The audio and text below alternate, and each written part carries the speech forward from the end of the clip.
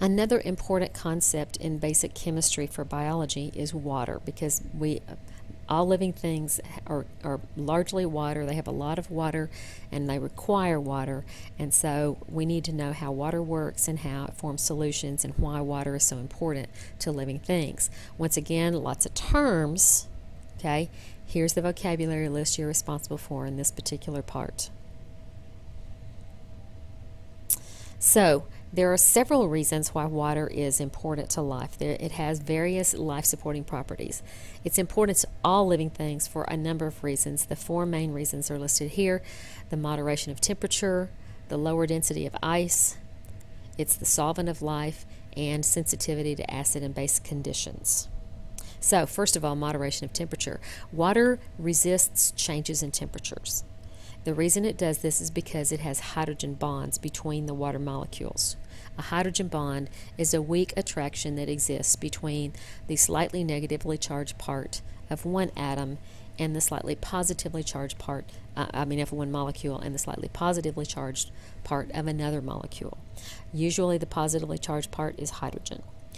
There, uh, there is um, heat that is used to form or relate to, uh, I'm sorry, that is released when hydrogen bonds form. And in order to break those hydrogen bonds, the heat has to be absorbed. There are lots and lots and lots of hydrogen bonds in water. Each water molecule has the ability to form three hydrogen bonds. And so it, it's bonded on all sides usually, and that increases the amount of heat required to break them. So it takes a lot of energy to break to change the temperature of water. You've seen this when you go to the beach. Um, because it, it's always cooler over the water, or the water is always cooler than the land because it, the land heats up a lot faster than the water does because of those hydrogen bonds in water. Secondly, ice is, is less dense as a solid than as a liquid, or water is less dense as a solid than a liquid. This is also because of the hydrogen bonding. When water molecules freeze, it forms stable hydrogen bonds between neighboring molecules. And since the stable bonds put it in this um, hexagon shaped structure. It's going to make the molecules more uh, densely packed because in water, in liquid water, they can kind of move around and uh, break and reform hydrogen bonds real easily. But in ice, they're going to be in a more stable crystal structure. Since they're less densely packed, then ice is going to float because the, the solid ice is less dense than, what, than the liquid water is. And this is important to living things because it forms an insulating layer uh, protecting the liquid water, and that allows life forms like fish and other things that live in the water to survive cold temperatures because the liquid water is never going to drop below 0 degrees Celsius or 32 degrees Fahrenheit. That makes it much easier to survive. A third reason is that, that water is such a versatile solvent. It's often called the universal solvent, and it is a versatile solvent because of its polarity. A solvent, remember, is a substance that dissolves something else. Polarity means that there are slightly different charges in one part of the molecule than on another. Aqueous solutions are very common in living things. That means water is the solvent. So when you see AQ or aqueous, that means it's a, it's a solution made with some substance plus water. Polar solutes dissolve easily in water. A solute is the thing that dissolves in the solvent. And so things like salt, which is polar, dissolves very easily in water.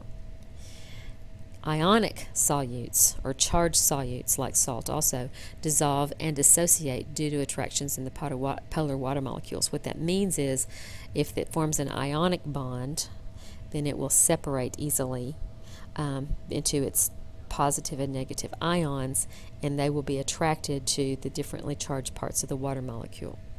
This is important for a lot of different reasons too. And in aqueous solutions, some of the water molecules even break apart into ions. Some of them are hydrogen ions, that's H plus. Others are hydroxide ions, that's OH minus.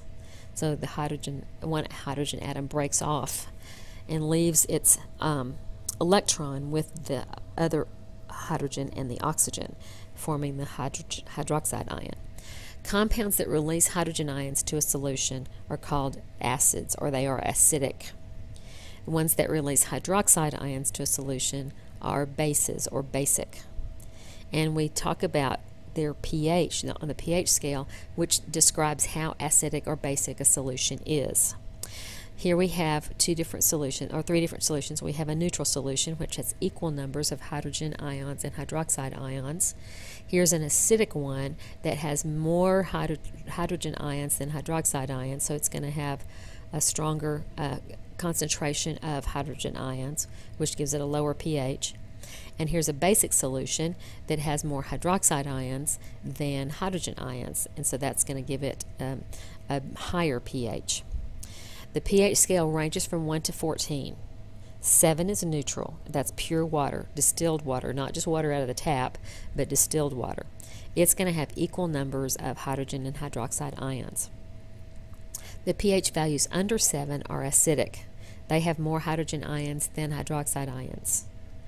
The ones over 7 are basic, and they have more hydroxide ions than hydrogen ions. An important thing to realize about the numbers on the pH scale is that each number represents 10 times as many hydrogen ions as the next higher number. So, for instance, if you have a pH of 5 and you change the pH from 5 to 4, the pH of 4 has 10 times as many hydrogen ions as the 5 did. So every number represents 10 times as many as you move from the higher number to the lower number in living systems, this can be very harmful, either acidic or basic. They need to be relative, they need to maintain a relatively stable pH to maintain homeostasis within the cell. There are solutions called buffers which minimize changes in pH. When there's excess acid, they accept hydrogen ions. When there's excess base, they donate hydrogen ions, and that keeps the numbers relatively equal, which means that it prevents sharp, sudden changes in pH and allows only very slight ones, which are much less harmful to the organism. This concludes the notes on, on uh, pH and water.